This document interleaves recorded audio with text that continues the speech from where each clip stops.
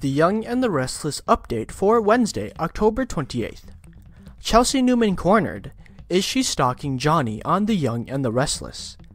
Spoilers for these two weeks have Chelsea Newman looking like the culprit when someone's creeping at Victoria's house next week. Victoria confronts Chelsea about it, asking if she's creeping. Meanwhile, Billy Abbott accuses Adam of the break in, but he denies it. Chelsea is cornered in week two, so it's perhaps her that is stalking at Victoria's house, per the Young and the Restless spoilers. Adam Newman cuts dad and siblings out of his life.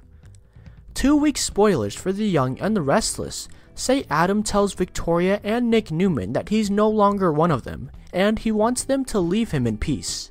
Next, he goes to see Victor Newman and tells him the same. That hits his dad pretty hard. Can anything melt the Newman siblings' heart where their little brother's concerned? And will Adam bother with Abby Newman or disregard her on The Young and the Restless? Billy Abbott kisses Lily, but Adam Vendetta burns down life on The Young and the Restless.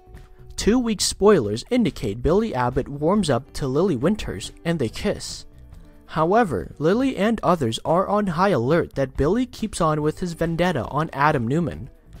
Billy keeps pushing to do a follow up piece despite Lily's objection, and Victoria Newman's mad too. Will Billy Abbott burn down everything to keep picking at Adam? Theo and Kyle Abbott face off.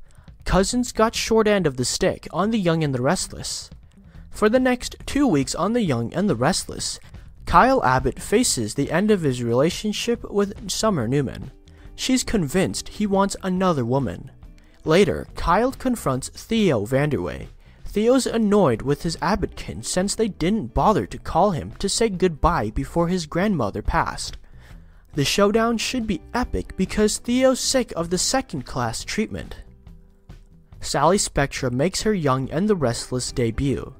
Young and the Restless casting news confirms it'll be the week of November 2nd when Sally Spectra finally comes to Genoa City. Sally has scenes with Lauren Fenmore, and it looks like Sally Spectra will be designing for the Fenmores. That's too bad because Chelsea needs a designer too, and she and Sally might make an interesting team. After her run on The Bold and the Beautiful, Sally Spectra's fans will be excited to see what she's got in store on The Young and the Restless, starting in two weeks.